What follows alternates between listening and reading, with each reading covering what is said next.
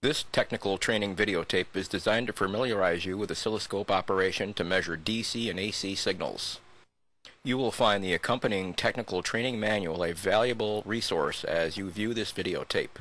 Please consult it often. I'm Professor Richard Kent and I'll be your instructor. And I'm Janie Kent. I'll be the instructor's assistant. For the next hour or so, we'll provide you with detailed technical content that'll teach you the fundamentals of using an oscilloscope. There are safety-related issues you need to be concerned about before operating the oscilloscope. Do not use it if it appears to be damaged in any way. Caution, there is an electrical shock hazard when operating electronic test equipment. Particularly use extreme caution when working around voltages greater than 60 volts DC or 30 volts RMS, and never operate the oscilloscope or other instruments in flammable atmospheres. Also, never exceed the input voltage rating to the oscilloscope. It could place you and the scope in harm's way.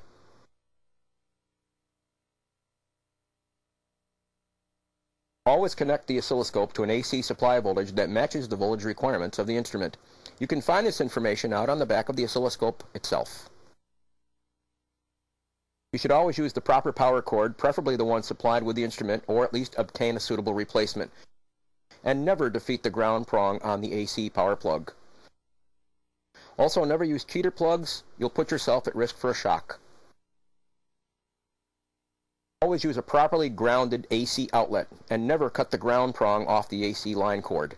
Never connect the scope to equipment where the chassis presents a voltage relative to the ground. In most installations, the entry cable contains a ground wire that's connected to the service panel. This is the actual building ground. A ground rod is often used to establish a good ground. The service panel chassis is connected to the utility ground and the building ground. All outlets are fed off the panel and are thereby connected to this ground point. Hot chassis TV receivers are examples of electronic equipment using transformerless designs. Use extreme caution at all times, and preferably an isolation transformer, as illustrated here. Note there is no ground connection. In this case, it is acceptable to use a cheater plug since the float is provided by the transformer. Caution, never expose the instrument to water. This can create a serious shock hazard. Electricity and water simply don't mix. Use extreme caution when working around machinery, especially where moving parts are present. Test probes and leads can get entangled, causing the possibility of strangling to you and damage to the instrument. The rule is keep everything in the clear. Remember, keep safety as your first concern.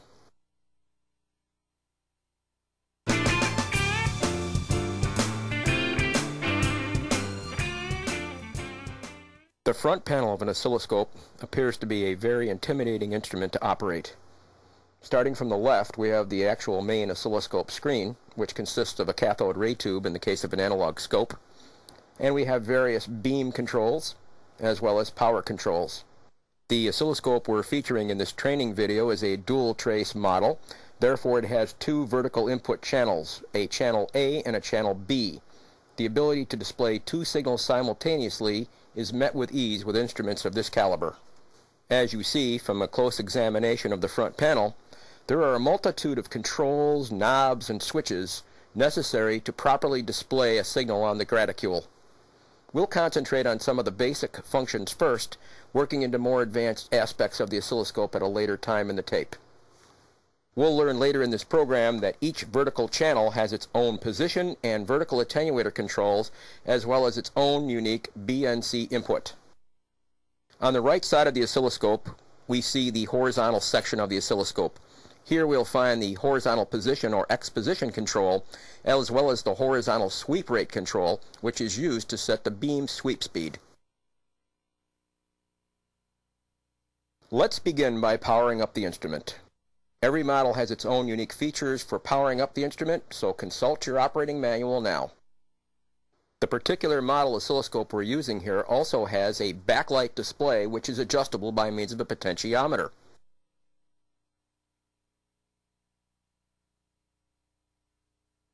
The intensity control allows you to increase or decrease trace brightness. This is especially useful when working under varied ambient lighting situations. Rotating the intensity control clockwise increases trace brightness, while rotating it counterclockwise decreases it. You'll always want to select the minimum intensity needed for accurate measurements and to protect the CRT's phosphors from burning. You can then adjust the focus control for the sharpest trace possible.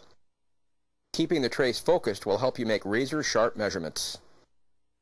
Especially when setting up the instrument for the first time, you might have to trim the trace rotation a bit. An ordinary alignment tool makes this an easy job. Trace rotation is usually performed once and then forgotten. The coupling switch selects either AC or DC coupling. The ground switch effectively decouples the vertical input signal from the scope circuitry. This is particularly useful for setting the trace reference. Always make sure the calibrate or cal control is turned to the calibrate position. This control is usually located on the vertical attenuator control. Serious measurement errors can occur if you fail to set this control properly. Most vertical attenuator vernier controls have a click detent position so the operator knows when cal is activated. Both channel A and channel B have identical vertical position controls. The function of the vertical position control is to set the vertical position of the trace on the graticule.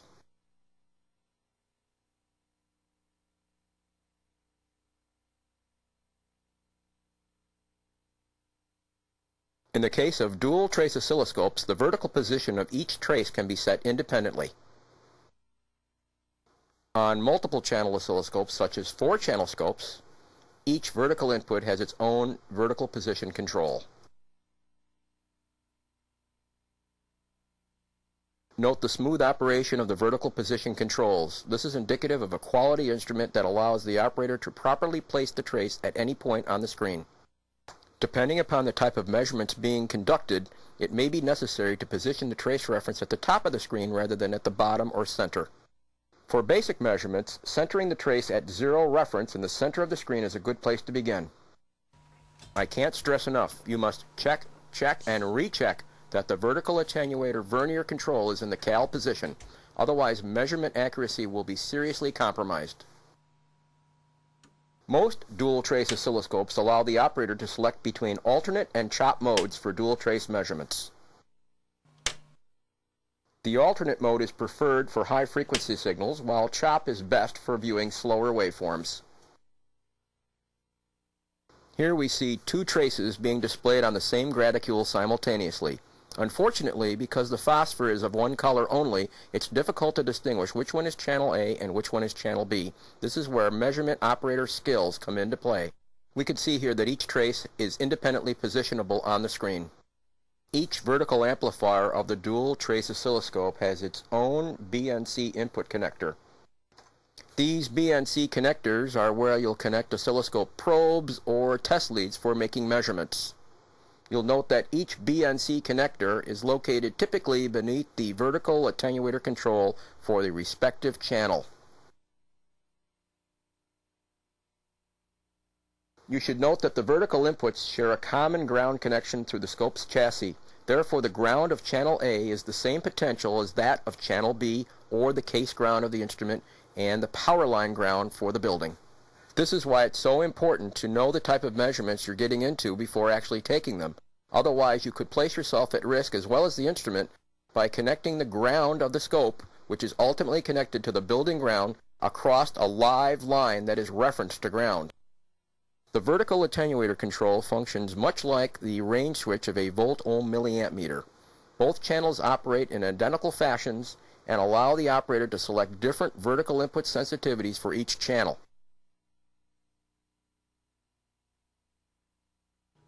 Here the technician is verifying that the vertical attenuator vernier control is in the calibrate position.